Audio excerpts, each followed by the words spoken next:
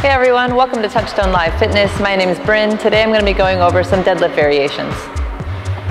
All right, so first we have the barbell deadlift. Um, I'm going to show you guys what it looks like first. I'm sure you've all seen a barbell deadlift before. Here's a few reps.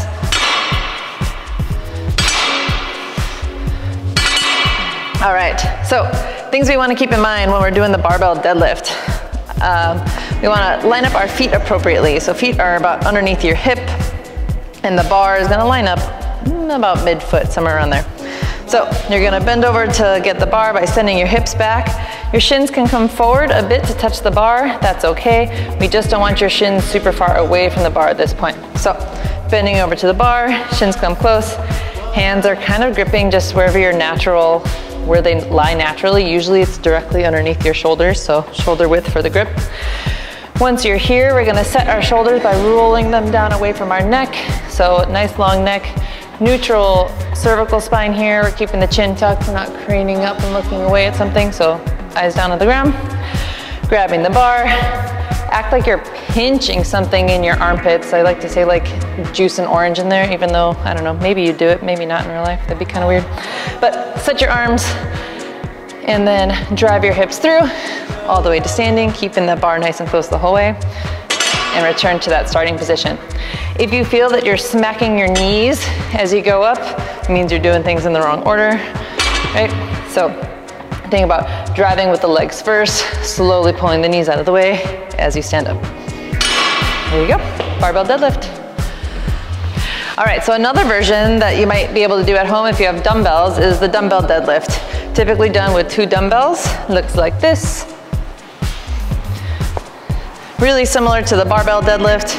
Usually you just have like the front two heads of the dumbbell touching the ground here. You don't need to go all the way to all four heads of the dumbbell touching.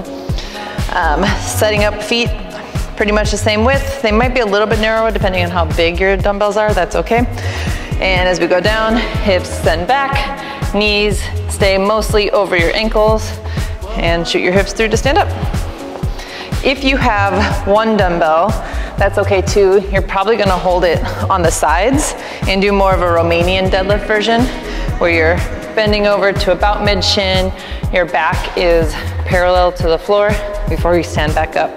So if you're just doing the one uh, dumbbell, I wouldn't go all the way to the ground, but you're still working in that hinge position by going to your mid-shin.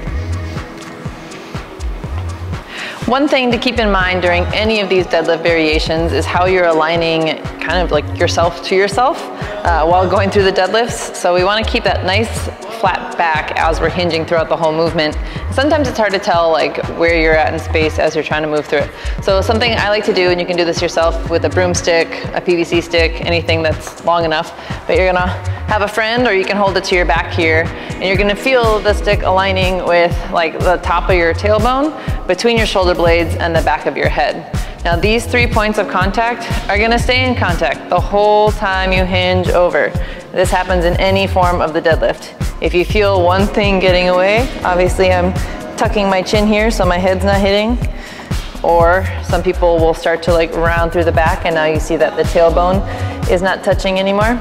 So this can be a good way to kind of feel where you need to be holding tension as you go through your deadlift.